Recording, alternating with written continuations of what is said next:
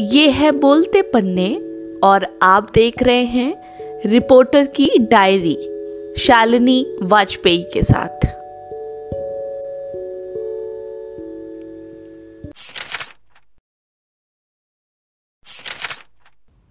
आज मैं फिर हाजिर हूँ कुछ किस्सों के साथ। आ, चार साल पुरानी बात है हमारे कोलीग थे।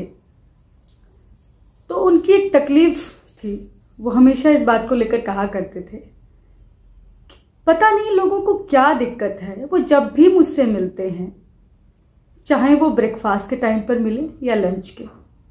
सुबह आठ बजे भी मिलते हैं तो कहते हैं, और क्या हाल है? बिरयानी खा के आए होगे तुम तो? लंच के टाइम मिलेंगे, तब भी कहेंगे, अरे, तुम्हें क्यों लंच अच्छा लगेगा यहाँ का? तुम तो बिरयानी खा के आए होगे।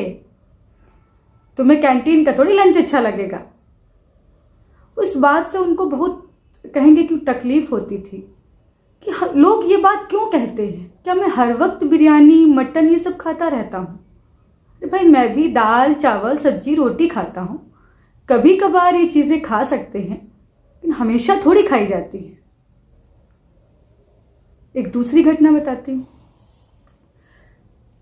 मैं एक सज्जन के घर गई। वो अफसर हैं रिटायर्ड हैं तो उनके घर पर गई तो ऐसे ही मिलना हुआ था। बातचीत के दौरान पता चला कि वो मिश्रा जी हैं और कानपुर के रहने वाले हैं। तो ये भी उन्होंने बताया कि वो कानिकुब्ज के ब्राह्मण हैं। काफ़ी बातचीत हो रही थी तमाम सामाजिक मुद्दों पर। बातें हुई। बातचीत के दौरान उन्होंने तुरंत आवाज़ दी, शाजिया, आओ, दो कप चाय लेकर आओ। बढ़िया सी। तो शाजिया ने अंदर से आवाज़ दी, जी, उसके बाद वो चाय लेकर आती हैं दो कप। अधेड़ उम्र की महिला, जिसकी उम्र 45 से 50 के बीच रही होगी, सलवार सूट पहने हुए, वो आती हैं और दो कप चाय रखती हैं। पूछती हैं चीनी कितनी चाहिए? मैंने कहा, एक चम्मच। चीनी डालती हैं और उनको बिना चीनी की चाय थमाती हैं। उनको मैं लगातार देख रही थी। मेरा बहुत मन कर रहा था कि मैं उनसे पूछूँ, आप यहाँ पर कब से काम कर रही हैं? क्या और भी ब्राह्मण परिवारों में काम करती हैं या फिर सिर्फ़ यहीं पर काम करती हैं? इस तरह से तमाम सवाल मेरे दिमाग में थे। लेकिन मेरी पूछने की हिम्मत नहीं हुई। बस मैं उनको एक तक देख रही थी। हालाँकि उनको ऑकवर्ड फील हुआ होगा कि मुझे क्यों इस तरह से देख रही है। होता है ना कि तमाम सवाल जहन में आते रहते हैं, लेकिन कई बार हम पूछ नहीं पाते और हर जगह पूछे भी नहीं जा सकते। इसके बाद वो चाय रखकर चली जाती हैं। फिर मैं चाय पीते हुए भी ये सवाल सोच रही थी और और भी तमाम बातें दिमाग में आ रही थी। चाय जैसे ही मैंने खत्म की, तुरंत फिर मिश्रा जी ने आवाज़ दी, शाजिया, आओ कप ले जाओ? शाजिया आती हैं कप ले जाती हैं? मैं फिर शाजिया को देखने लगती हूँ। और फिर सवाल मेरे जहन में वही घूमते हैं। एक तीसरी घटना बताती हूँ। मेरा एक दूर का कजिन है, छोटा भाई है। वो। तब मैं लखनऊ में रहा करती थी। वो मुझसे बोला, रात ग्यारह बजे की फ़ोन आया उसका।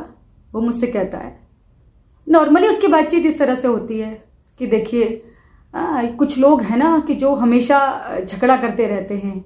देखिए, देश में किस तरह से माहौल ख़राब हो रहा है। एक इस धर्म के लोग हमेशा झगड़ते रहते हैं। देखिए, दुनिया में इनकी वजह से झगड़े हो रहे हैं इतने सारे। माहौल ख़राब हो रहा है। ये जहाँ भी रहते हैं, शांति से नहीं रहते। इस तरह की बातें वो कहता, अक्सर कहा करता था। और मैं उसे, चूँकि छोटा था तो कई बार समझाती थी, कई बार थोड़ा तेज़ी में बोलती थी कि ऐसे तुम गलत तरीके से सोचते हो, ऐसा नहीं है। सब लोग एक जैसे होते हैं। धर्म पर टिप्पणी आप मत करें सब एक जैसे होते हैं। उसको कई बार बोलती थी।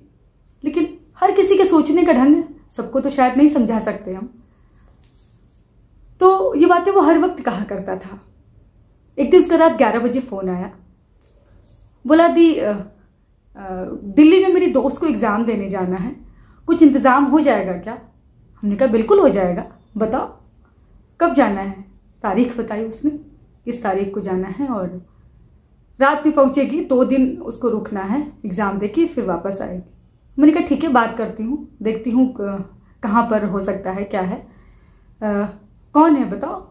तो बोला कि, मेरी दोस्त है नाजिया। नाजिया? तुम्हारी दोस्त है? तुम्हारी दोस्त कैसे हो सकती है? तो बोला कि, अरे दी, मेरी दोस्त है, बहुत अच्छी लड़की है, और आप नहीं जानती हैं, बहुत आप उससे मिलेंगी तो आपको भी अच्छा लगेगा, बहुत अच्छी लड़की है। मैंने कहा कि, अच्छी तो लड़की होगी। बहुत सारी लड़कियाँ अच्छी होती हैं, इसमें कोई बुराई थोड़ी, अच्छी लड़कियाँ होती हैं। मैंने उसको मज़ाक में बोला लड़कियाँ सब अच्छी होती हैं। फिर बोला कि अच्छा आ, नहीं दी आप ना मेरा मज़ाक मत बनाइए। मैंने कहा कि वैसे तुम्हारी दोस्त है नाजिया सूट नहीं करता तुम्हारे ऊपर। तो तुम तो बहुत दूसरे धर्म से तुमको बड़ी दिक्कतें होती हैं। तो बोला नहीं नहीं ऐसी कोई बात नहीं है। वो तो आप हर बात में आप ये सामाजिक विषय मत लेकर आया करिए। इस तरह की चीज़ नहीं है। और मैं भी ऐसा ही हूँ जैसे आपसे बात कर रहा हूँ। तो मैंने कहा फिर मेरे साथ क्यों बेवजह की बहस करते रहते हो? अच्छा ठीक है, जाओ, कोई बात नहीं। बात कर लूँगी। मेरा नंबर दे देना।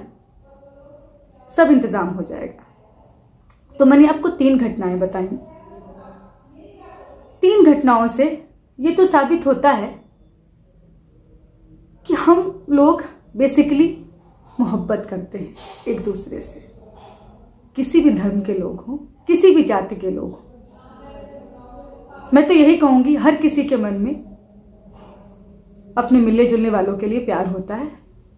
बस कुछ चीज़ें हैं जो कभी कभार मन को बदल देती है, हमारे जहन को बदल देती है। बस उन्हीं को बदलने की ज़रूरत होती है। शुक्रिया।